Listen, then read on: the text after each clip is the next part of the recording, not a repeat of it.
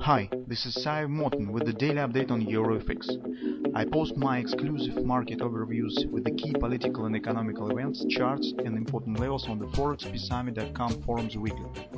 This short video is a response to rapidly changing situation on the currency markets and should help you to stay on top of the game and be profitable.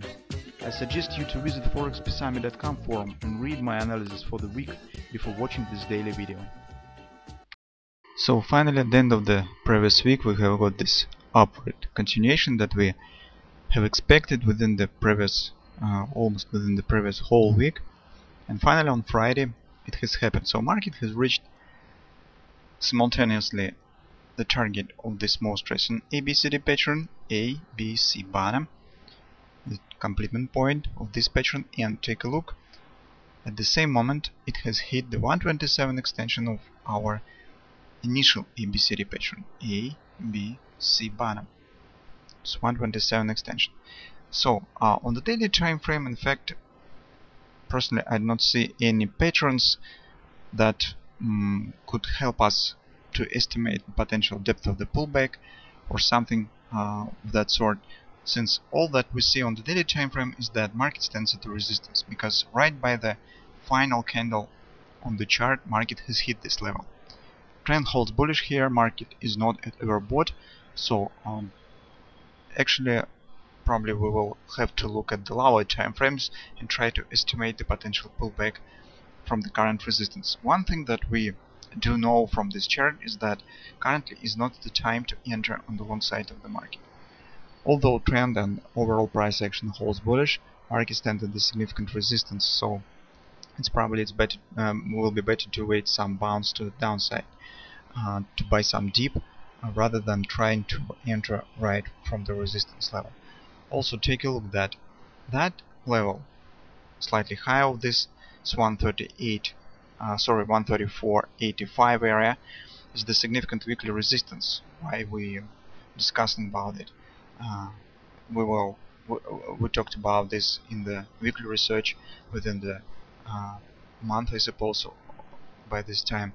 So uh, in general we have some resistance cluster uh, as from intraday charts as from the daily patterns as from the higher time frames from the weekly chart uh, in particular. So this could be a really significant resistance area and market could show some bounce to the downside.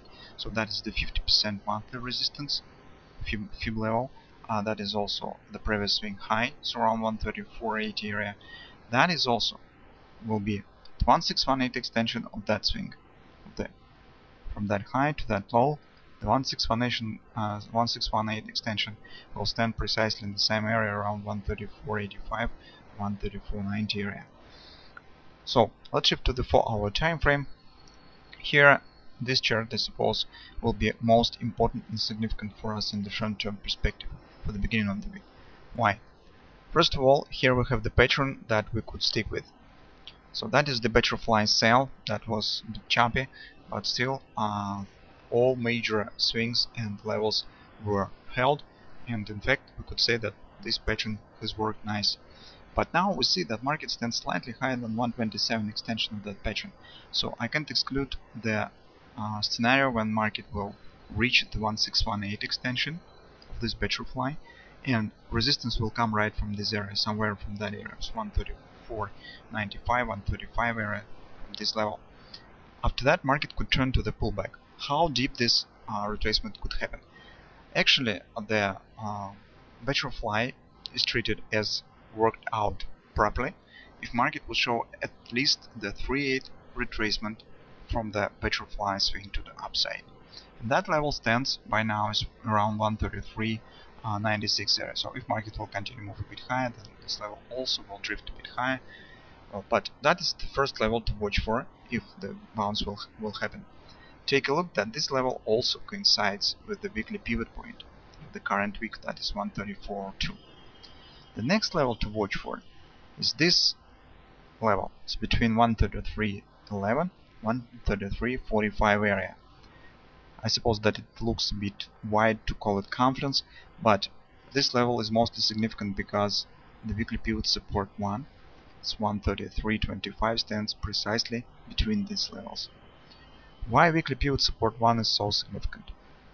Because we know that when the market stands in the long-term bull trend, retracement, if and if retracement will happen, it should be held by weekly pivot support 1.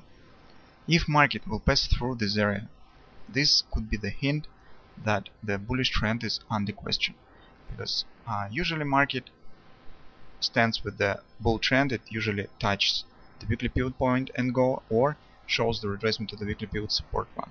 That is two major levels to watch for is the potential retracement. And they are uh, stands precisely in a row with the bullish scenario because too deep retracement uh, and continue move to the downside below these levels will be a bit uh, curious for bullish sentiment because in this case market will uh, return right below the previous consolidation that will be not very welcome for bullish development. Uh, it will be perfect if market will stop retracement right around weekly pivot point so it will touch it and continue move to the upside. Well, retracement to the weekly pivot support one is possible but it's not so um, preferable because if this will happen, that will open door for potential reversal patterns. For instance, head and shoulders patterns right here. So that will be precisely 618. Could be left shoulder if market will continue move right below it. Okay, that will keep the open for possible bearish reversal patterns and will demand for us a bit uh, more in-depth analysis. Um, some maybe we will have to spend some time for expectation and more clarification from the market. That's why I prefer to see the reversal from the weekly pivot point. That will be absolutely logical uh, as from the Fib work, since market now stands above the 618 extension on the weekly time frame. Uh, it al already has shown the retracement. In fact, this that consolidation with the pullback after hitting the 618 target on the weekly time frame and deep retracement right now when the market stands now above this extension target will be absolutely unreasonable uh, from the development of the extensions on the weekly time frame. That's the reason why I prefer to see the small retracement here. Well, on the hourly time frame, we see the possible scenario for double repo sell pattern. So if we'll take a look at this most recent swing, it's not very good looking, but theoretically it's sufficient to show the double repo pattern. So you look 1, 2, 3, 4, 5, 6, 7, 8, 9, 10, 11 bars to the upside. That's enough. Close below the 3 by 3 Here we have the close above. So if market will show the second high top of the double repo and will hit the butterfly target, then returns right back and close below the 3 by 3 that will be the pattern that probably those of you who thinking uh, who thinks about the uh, scalp short trade um, that is based on the bearish butterfly, that could be the pattern that could trigger the downward retracement. And if you're a scalp trader, you trade on the hourly time frames, on the 5 minute chart trades, uh, 5 minute charts, you could probably uh, keep an eye on this opportunity to make the scalp short trade based on the bearish butterfly and this potential double repo sell pattern. Anyway, um, as the conclusion, I could say that um, first, it's not the time to enter long. If you have the bullish uh, view on the market, it's probably better to wait the pullback, and it will be preferable if, if this pullback will stop around 134 area. If not, then acceptable level is around weekly pivot support 1 so market will show some a bit deeper retracement. That is two level to watch for this opportunity to enter on the long side of the market. If market will pass through this level and uh, take out of these lows, will continue to move to the downside, well, that will leave questions uh, about the bullish sentiment.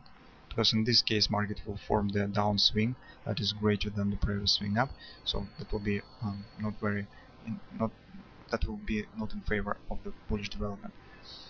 Um, also, I would like to note that keep take a look at the daily cable chart because it has very nice bearish thrust and that could be the real perfect context for either bread body trade or double repo buy.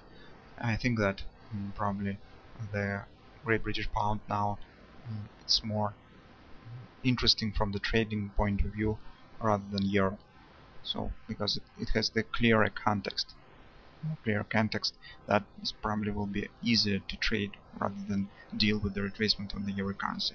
So if you are uh, not sure what to do currently on the euro and you will think about uh, taking the path of trading on the euro currency, take a look at the Great British Pound. it Now has the nice context for trading.